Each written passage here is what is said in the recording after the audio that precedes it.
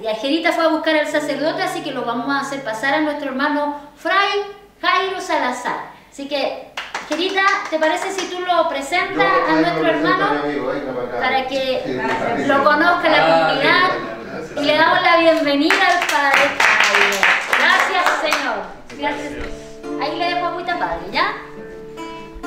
Yo quiero presentar a, a mi amigo, el Padre Jairo Salazar. Él es de la Orden de los Siervos de María, eh, pertenece a esta parroquia hace, un tiempo, hace poco tiempo atrás. Es un cura, como decimos los, chilenos, un cura muy choro. Y nosotros hemos tenido la gran oportunidad de todos los viernes participar con él en la Eucaristía y la oración Santísimo y ha sido un regalo del Señor estar con él y compartir todos los viernes. Y yo comparto otros días de la semana también con él y realmente es un cura, un cura bendecido por el Señor. Es un, un, gran amigo, súper preocupado, de repente yo estoy cocinando aquí para Mamá no abierta y el padrecito viene para acá y me acompaña y, está siempre preocupado de la gente que más necesita. Así que gracias Padre por, por, acogernos, por querernos tanto y nosotros, el jardín, la comunidad que lo está conociendo hoy día eh, más directamente, espero que, algún día podamos estar eh, presencialmente con todos y participar en el Que sea pronto. Que sea pronto, que se termine esto. Y, muchas gracias, Padre, por, ser nuestro amigo y nuestro curita regalón. Padre, de todas maneras no se va a librar de nosotros en este ratito, vamos a hacer oración por ti, para que el Espíritu Santo hable a través de sus palabras y llegue a nuestro corazón. Así que le vamos a pedir al Espíritu Santo que venga. Ungelo, Señor, con tu Espíritu. Ungelo, Señor,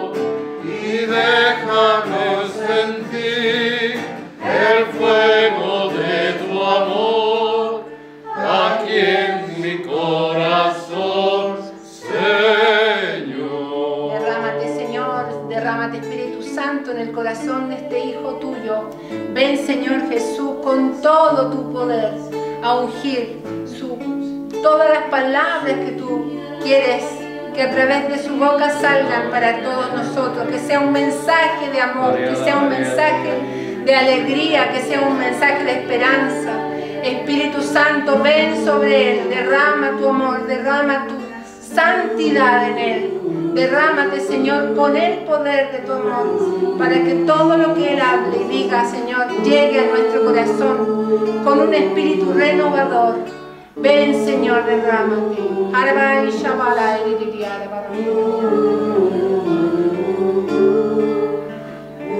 Jesús, Jesús, Jesús, Jesús, sopla, sopla, sopla, Señor y déjalo sentir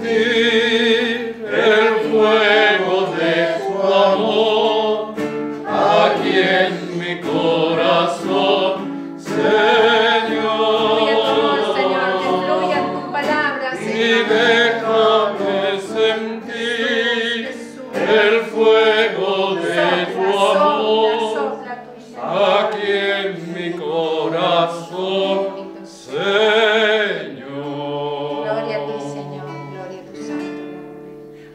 Señor. Estamos preparados y dispuestos para que tú hables y nos bendigas a través de lo que Él va a decir. Amén. Amén. Gracias, hermanos. Gracias. Estoy muy contento, esa es la verdad. Tengo que confesarles que entre ustedes me siento como un microbio, porque son hombres y mujeres de mucha oración, enamorados del Señor, de la misión a la que Él los ha enviado.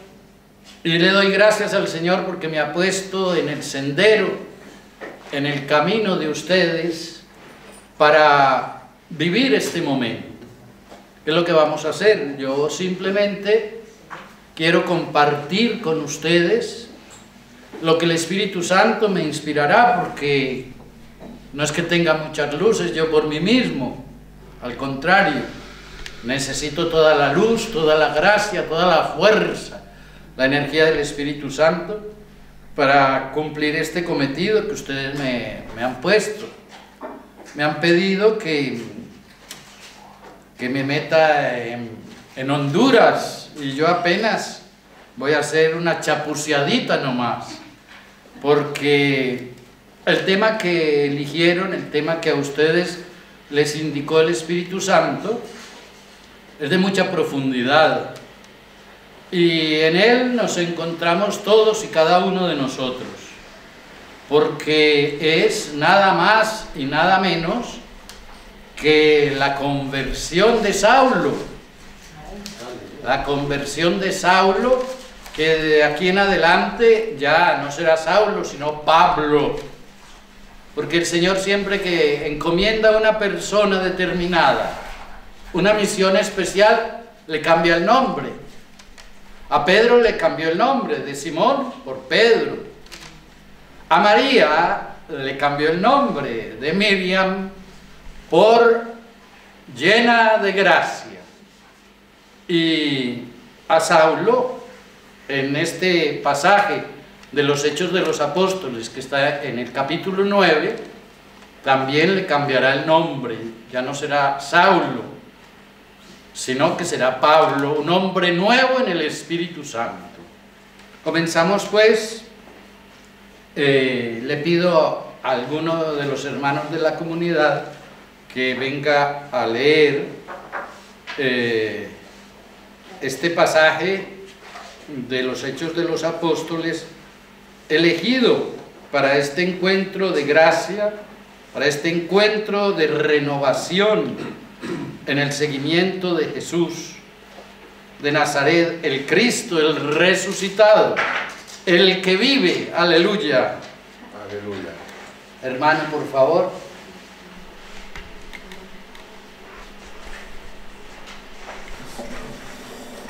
Saulo encuentro a Cristo. Saulo no desistía de su rabia, proyectando violencia y muerte contra los discípulos del Señor.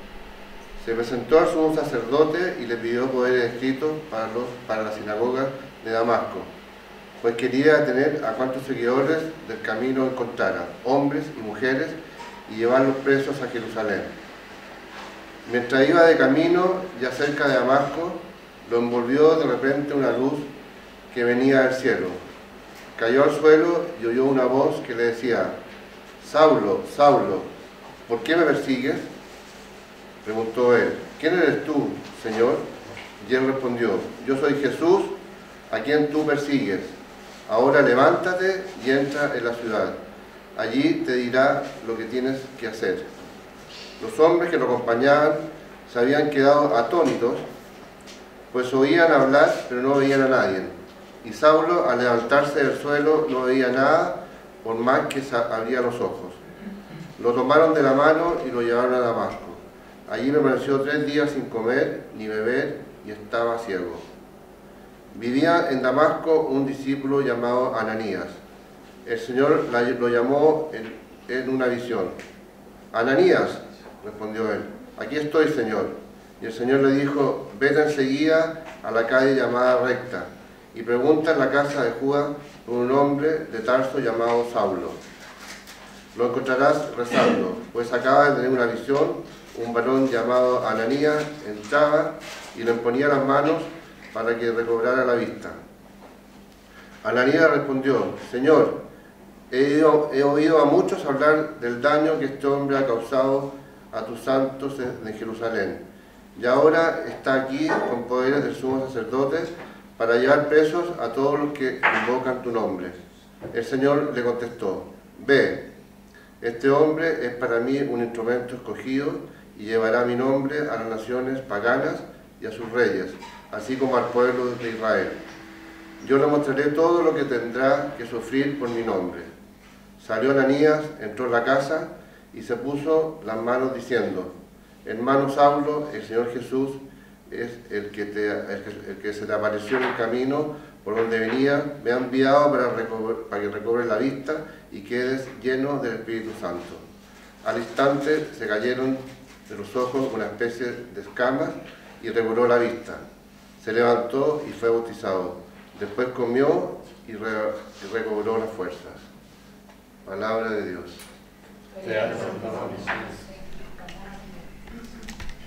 Muy bien, a sentar.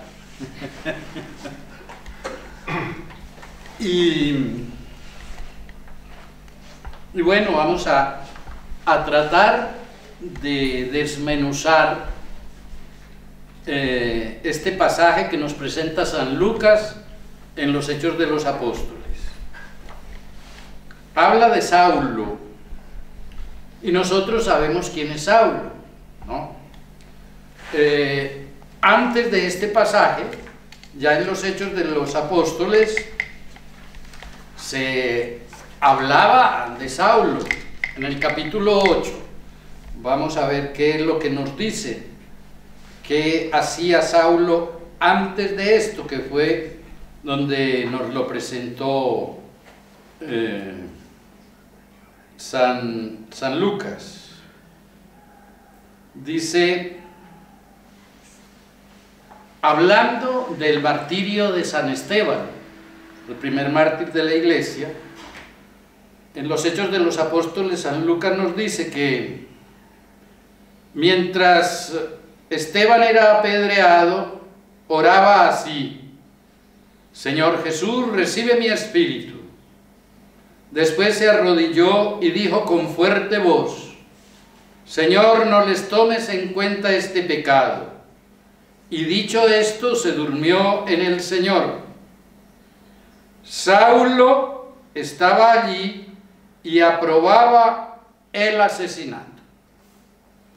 Entonces, este Saulo que ahora va camino de Damasco con muy malas intenciones, eh, ¿de dónde viene? En primer lugar, él dice de él que es hebreo, que es fariseo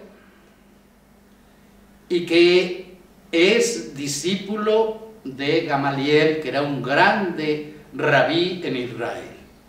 De modo que nos encontramos con este Saulo, de quien dicen después, hay un autor que lo describe, dicen que era bajito, que era patichueco,